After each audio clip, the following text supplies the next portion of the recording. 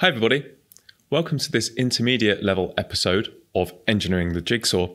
Intermediate episode number one How to Count Like a Computer. In this episode, we're going to have a bit of a think about how numbers can be represented. And you might want to have a piece of paper and a pencil handy while you're watching this episode. You might want to jot some stuff down and, and try some things as we're going. Before we go too far, and maybe while you're digging out your pencil and bit of paper, Let's quickly define what a number is. So, according to Wikipedia, and this is a, a, a, really good definition for what we're going to talk about today, a number is a mathematical object that is used to count, measure, and label. And within EE engineering, there's often a specific way that we think and treat numbers.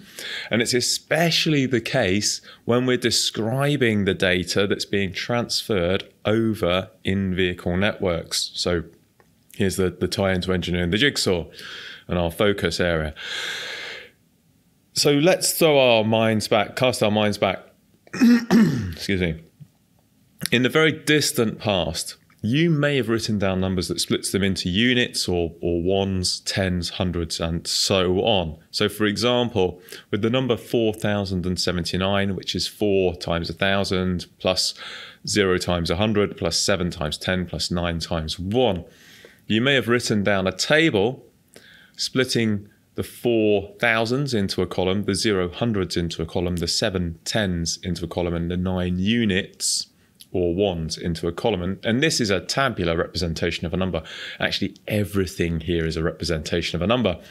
The number 4079 exists independently of whether I represent it in words when I'm speaking, whether it's digits written down, or an arithmetic sum as as we see or the the tabular representation so that number is is kind of the number independent of representation now well, there's a little bit of complexity this can cause us intellectually that we'll get to. Um, but first, let's consider the numbers that sit behind the column headings. So we have one or, or units, 10, 100, 1,000, and if we wanted to get larger numbers in our table, of course, we'd have 10,000 and so on. And eventually we didn't need numbers like millions, tens of millions, hundreds of millions. Luckily, we can simplify some of this writing, all these zeros that we end up writing, using powers or exponentiation to give us a shorthand. So we can write 100, which is equal to 10 times 10, as 10 to the power of 2 also 10 squared in English, but 10 to the power 2. A thousand, 10 times 10 times 10 is 10 to the power 3. So the, the power that we're raising 10 to tells us the number of zeros that are following the 1 and the number of tens that we're multiplying together. Now, we used, I've chosen deliberately to start with powers of 10 because it's quite intuitive how the, how the numbers grow. We're adding a zero every time we, we increase the, the power by one. So a million is six tens multiplied together. It has six zeros. It is 10 to the power of six. Let's write our table again.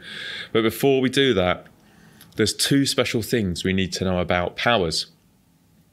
Firstly, the result of raising any number to the power of 1 is the original number. So 10 to the power of 1 is 10. And the result of raising any number to the power of 0 is 1 or unit. And when we think about our, our 1 followed by a number of zeros that corresponds to the power, it's very obvious when we're working with tens as, as, our, as our base that we're, we're, raising to a power. So we have one zero after a one for 10 to the one. We have no zeros after a one for, for 10 to the zero and, and so on. Same thing applies for other numbers raised to powers. Any number to the power of zero is always one. And any number to the power of one is that, that number. Now, there's a little bit of complexity here, which is because it's so common for us to use base 10 or decimal numbers for counting that we forget that this is a representation of a number. We have a decimal representation. And in our table, of course, the headings are all numbers that we can represent as powers of 10. And each column holds a single digit, which represents a number from 0 to 9. The consequence is that we can then rewrite our table that we saw before with some more columns, but using our shorthand, and we can write from 10 to the 5 down to 10 to 0, or more accurately from 10 to 0 upwards because we're increasing. And of course, the first couple of columns we're going to fill with zeros because we don't have any 10,000s or 100,000s. We're starting just with 4,000s. So we enter our 4, we enter our 0 for hundreds, we enter our 7 for the tens, we enter our 9 for the for the ones. And we have split the number 4079 in a, in a way that aligns to that bit of maths we saw earlier, the arithmetic expression. And of course, we can take a similar approach if we want to represent numbers in other bases or number systems. So with base 2 or binary, we, we can do a similar thing. Now, binary has two digits, 0 and 1. I should have mentioned base 10 has 10 digits because we have 0, 1, 2, 3, 4,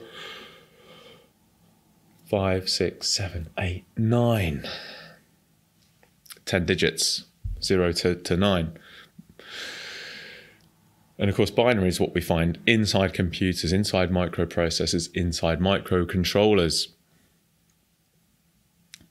And in this term, in, in here, we typically talk about bits and maybe bytes, which and bits is just binary digits. So to start, to represent numbers in binary, we rewrite our table using powers of 2 in the column headers.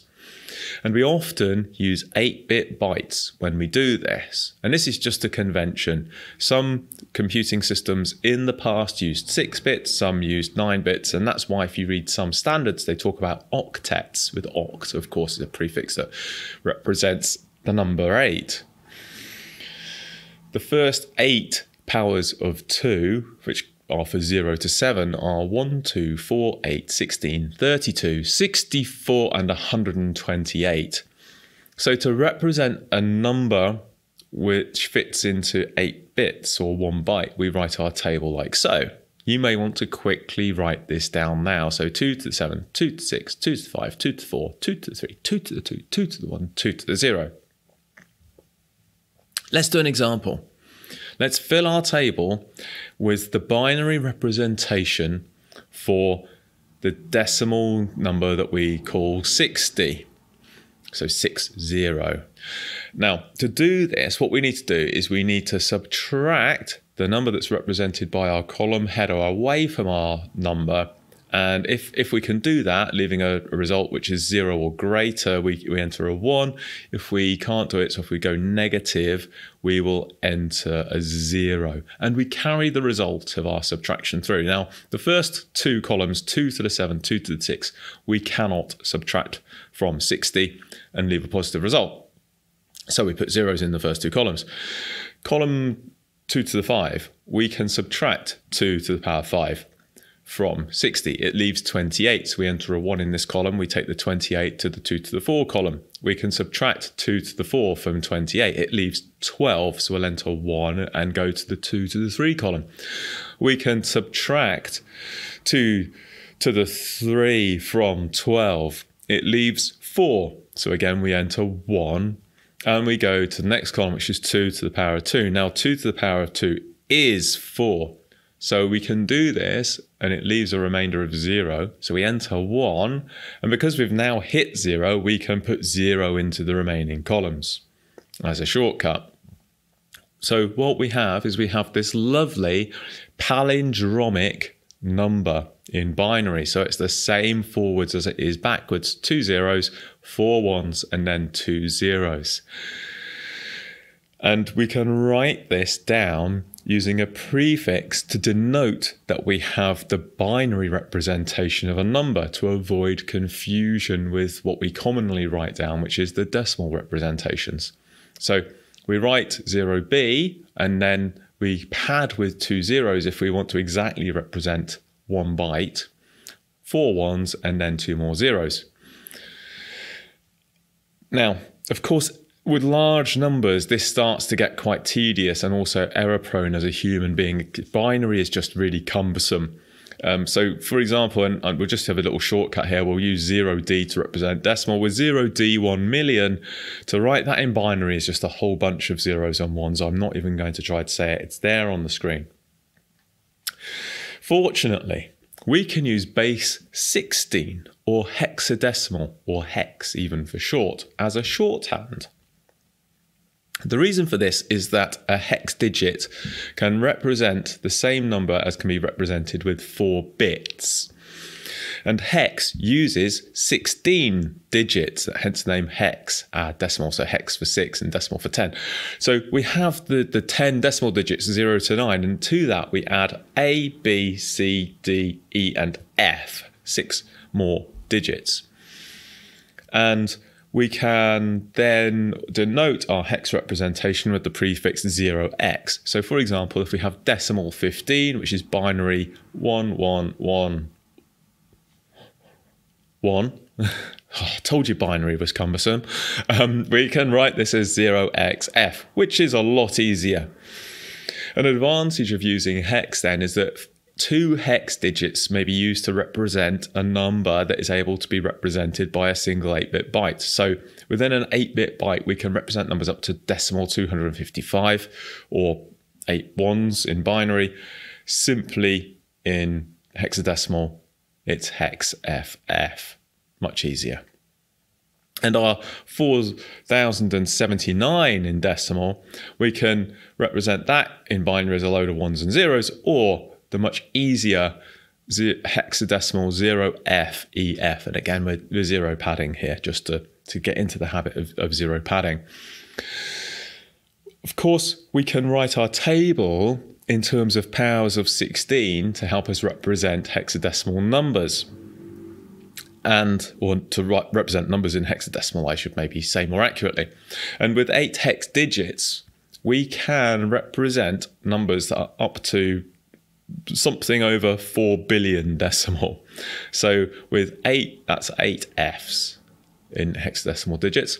So for, if we pick a number which is less than 4, 4 billion decimal, so if we take the 10 decimal digits and, and line them up with zero at the at the end for the ones, so 1 billion 234 million 567,890 we can convert this into hex. And the way we do it is a similar process to what we've done before, except now we're going to count how many times a particular power of 7, sorry, a particular power of 16 can be deducted from our decimal number, starting in the column for 16 to the 7. So how many times can we deduct 16 to the power 7 from 1 billion 234 blah blah blah blah blah we can do that four times so in our column for 16 to the 7 we enter 4 we give it get a remainder of 160,826,066 how many times can we deduct 16 to the power 6 from this? Well, it's 9 times. So we enter 9 on our 16 to the 6th column and we carry the result, which is 9,831,122.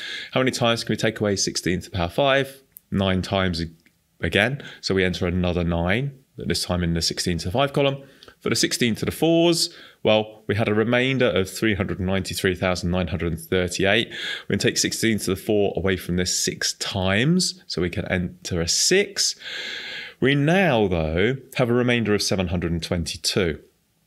We cannot deduct 16 to the power of 3 from 722, leaving a, a, a 0 or positive remainder, so we enter a 0. For our next column, which is 16 to the power of 2, we can deduct that twice from 722. So we will enter 2 into the 16 to the power 2 column. We now have decimal 710, which, sorry, decimal 210, and we can deduct 16 16 to the power of 1 from that 13 times decimal 13. Now, decimal 13 is hexadecimal D, so we enter D in this column. That leaves a remainder of 2. 2 decimal, 2 hex, same thing, put it in the column for 16 to 0. You should end up with a hex number which is 499602D2. And that's your hexadecimal representation of that number. And the binary, of course, you can then calculate out if you if you want to. Again, just loads of zeros and ones, not going to waste time reading it out. So as a summary, in this episode, we've considered how numbers can be represented by words. I've been speaking and representing numbers with my speech. We've also considered how they can be represented by arithmetic expressions. We've seen how they can be rap- represented in tabular forms and using digits from different bases or number systems, which is a little bit hard to grasp at first because we're so used as human beings to working in base 10. But we're just dealing with representations of numbers. And other systems, such as computers, deal with numbers in a different way. We've talked, though, then about how, especially for humans, numbers in binary representation can be particularly cumbersome and horrible. um, so we've then gone into how hex or hexadecimal base 16 gives humans a convenient shorthand for the binary representations of numbers. I hope that's all clear for you. I hope you've enjoyed this first intermediate level episode. If you have any questions, if you have any ideas for topics for episodes, please leave a comment where you found this video. Please feel free to drop us an email to our special email address, engineering.jigsaw at vector.com. I really hope you've enjoyed this first intermediate episode. I'm Cunningham from Vector GB. See you again soon for another episode. Bye.